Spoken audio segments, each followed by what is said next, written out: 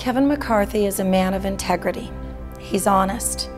He's committed to finding real solutions.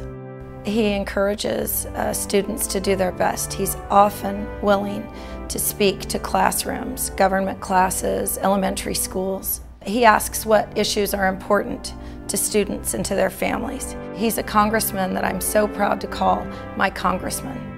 I'm Kevin McCarthy. I approve this message and I'd be honored to have your vote.